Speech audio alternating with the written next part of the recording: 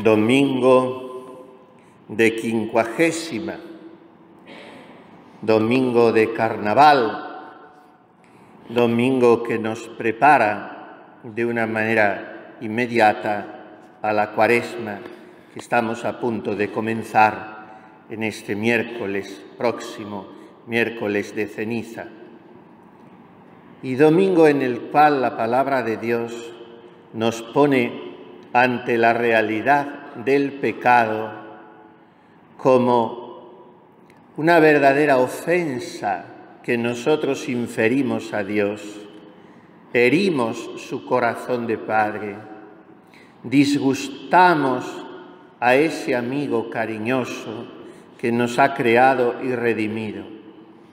En el Salmo hemos repetido cantando, Perdóname Señor, he pecado contra ti, porque siempre que pecamos, pecamos contra Él. Aunque pequemos contra un hermano, aunque pequemos contra nuestro propio cuerpo, en realidad todo pecado es una desobediencia voluntaria a la ley de Dios. Por lo tanto, estamos diciéndole a Dios, no te metas en mi vida, no me interesas, estoy mejor sin ti, déjame tranquilo. Se lo decimos con formas más o menos educadas o vulgares. Es igual, el caso es que prescindimos de su guía misericordiosa para nuestra vida. Y entonces nos convertimos en impuros porque ensuciamos esa imagen de Dios según la cual fuimos creados y la desquiciamos, la distorsionamos y somos impuros.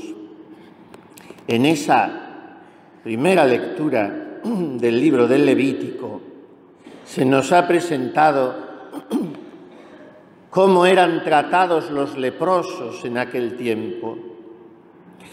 Y me he fijado en una curiosidad llamativa. En solamente cuatro versículos aparece seis veces la palabra impuro. El leproso era un impuro, el sacerdote lo declaraba impuro y él mismo iba gritando por los caminos impuro, impuro, según tocaba una campanilla, mientras le duraba la afección seguía impuro. Todo era impureza en el leproso, porque el leproso es imagen del pecador. Pero es que hay una prescripción en otro lugar del Levítico, que no hemos leído aquí, en la que se ordena que nadie se acercase a tocar bajo ningún concepto a aquel hombre, porque el que lo tocara también quedaba impuro. No se trataba de contagio de la enfermedad, sino una especie de contagio moral. Y he aquí que viene Jesucristo, ve que se le arrodilla, se arrodilla ante él aquel hombre enfermo de lepra y Jesús, compadecido, lo narra poco a poco el evangelista, como una escena lenta de una película que requiriese toda nuestra atención y atrapase toda nuestra emoción.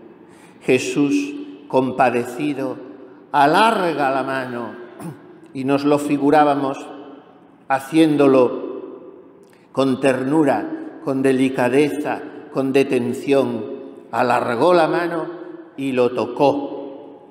De manera que Jesús, también Él, siendo la pureza absoluta, la limpieza total, la santidad suma, ha querido hacerse impuro para que nosotros seamos puros. Él es el Cordero de Dios que quita el pecado del mundo. Él es el que sin conocer el pecado tomó sobre sí el pecado de la humanidad. Al tocarnos a cada uno de nosotros y al limpiarnos de nuestro pecado, llevándoselo Él y sintiendo en su corazón purísimo todo el peso de toda la miseria y la podredumbre de todos los hombres de todos los tiempos. Pero para sentir ese perdón, esa limpieza, esa purificación que nos trae Jesús, hemos de hacer como el leproso, reconocer que estamos enfermos, postrarnos de rodillas ante Él con la fe y la contrición y decirle, si quieres, puedes limpiarme. Esto se hace en la confesión, porque en el confesonario el sacerdote es ese mismo Cristo que toca la impureza y al levantar la mano para dar la absolución, hace lo mismo que hizo Jesús, alargar su caricia y tocar y curar, limpiar, purificar. María es también, la llamamos así, la purísima. En ella no hay mancha, ni siquiera la original. Todo en ella es limpieza, juventud, hermosura. Y por eso mismo también, porque es tan buena nuestra Madre, quiere abajarse hasta nuestras enfermedades y quiere que la llamemos así, salus infirmorum, salud de los enfermos. Y ha querido esto manifestarlo de una manera especialmente notoria en Lourdes, donde hizo surgir un agua limpia de purificación Lourdes, a donde miran tantos enfermos del mundo que peregrinan allí con las diversas hospitalidades que hay en muchísimas diócesis para ser tocados por la Madre. Nosotros también estamos enfermos. La mayoría de las enfermedades que tenemos, hemos de reconocerlo con toda serenidad, son ya achaques acumulados por los años y por la ancianidad. Esas enfermedades es difícil que desaparezcan, porque ello supondría que de repente nos quitan 30 o 40 años de encima. Y yo por lo menos no conozco casos frecuentes de estos. Son alifafes, molestias, esas tenemos que aprender a ofrecérselas al Señor.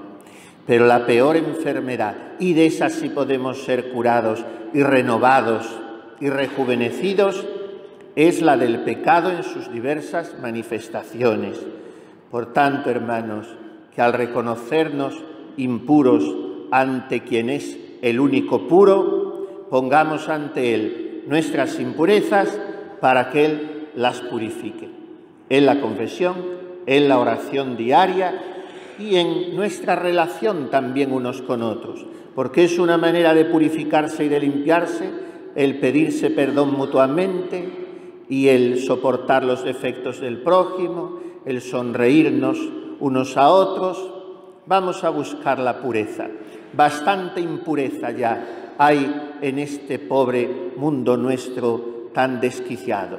Por lo tanto, miremos a Jesús el Cordero sin defecto ni mancha, miremos a María, la Inmaculada, la Purísima, Nuestra Señora de Lourdes, y digámosle que ella bañe con su agua limpia nuestros pobres corazones sucios y que María, lo mismo que Jesús, nos digan cuando nos vean mirarles con amor, suplicándoles que nos curen, quiero, queda limpio. Así sea.